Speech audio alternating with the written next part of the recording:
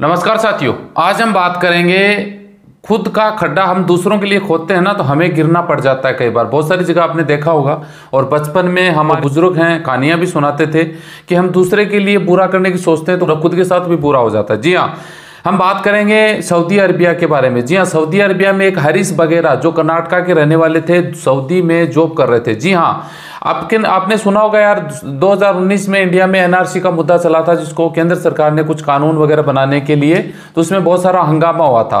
तो हरीश वगैरह ने अपनी पोस्ट पे कुछ एस उसके समर्थन में एनआरसी के समर्थन में कमेंट फेसबुक पे कोई पोस्ट की थी। जी हाँ उनके जो नियुक्ता थे, जो कंपनी के मालिक थे, वो भी इंडिया के थे। उनको ये बात अच्छी नहीं लगी कि भाई हमारे वर्कर एनआरसी के समर्थन में पोस्ट कर रहे हैं। जी हाँ तो यहाँ पे बात सोचने की ये नहीं है कि आप नीचे धर्म के बारे में कमेंट कर रहे हैं ये वो गलत है वो गलत, ऐसा कुछ नहीं है आदमी की सोच। सोच कितनी डिपेंड है। आप देखिए कोई कानून, अब देखिए, किसान कानून था, बहुत सारे लोग समर्थन में थे, बहुत सारे लोग समर्थन में नहीं थे तो वो अपना निजी मामला है। किसी के ऊपर ज़बरदस्ती नहीं थोप सकते कि आपको इसका समर्थन करना पड़ेगा, आपको इसका समर्थन नहीं कर सकते, ऐसा कुछ नहीं हो सकता। सबकी अपनी अपनी सोच होती है। तो हरीश वगैरह ने एनआरसी के समर्थन में पोस्ट किया, फिर उसको वहाँ पे जो उनके कंपनी के मालिक था, उन्होंने उनको बुलाया तो उन्होंने वो पोस्ट हटा दी और वो अकाउंट क्लोज कर दिया। जी हाँ तो मैटर खत्म हो गया। अब उनके वो माइंड में, दिमाग में बात डल गई कि इसको कहीं ना कहीं अपने को लपेटना है। जी हाँ तो उन्होंने क्या किया? दो भाई थे।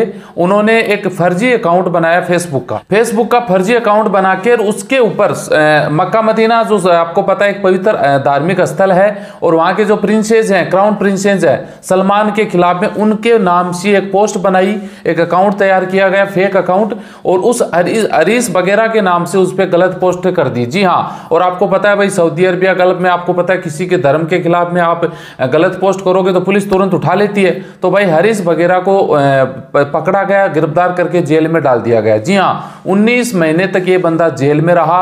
उसके बाद में उनकी पत्नी इंडिया में थी। उन्होंने यहाँ पे कंप्लेन दर्ज करवाई इंडियन पुलिस कर्नाटका में कि मेरे पति के साथ षड्यंत्र हुआ ऐसा उन्होंने नहीं किया। ये देखिए, ये पोस्ट की थी, उन्होंने माफ़ी मांगी, वो भी पोस्ट दिखाई, फिर अकाउंट क्लोज कर दिया गया, जबकि उनकी तरफ़ से कोई अकाउंट चलाया नहीं गया।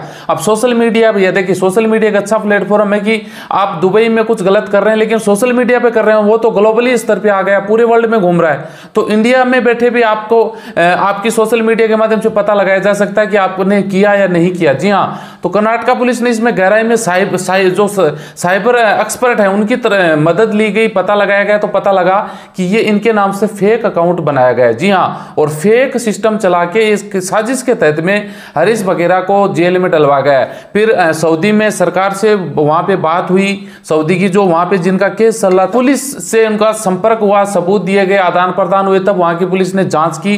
तो पता लगा कि इनके नाम से किसी ने गलत फेक अकाउंट बनाया गया है और जाँच करी तो पता लगा ये दो भाइयों की करतूत थी उनको पकड़ के जेल में डाल दिया गया जी हाँ अक्टूबर में उनको जेल में डाला गया अभी तक वो जेल में ही है।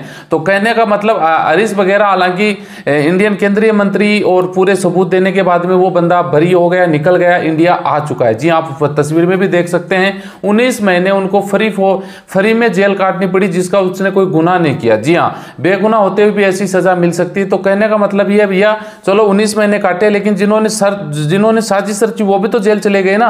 तो कहने का मतलब ये कि खड्डा खोदते हैं दूसरे के लिए, लेकिन हमें गिरना पड़ जाता है। तो इन चीज़ों का आपको भी ध्यान रखने की बात है।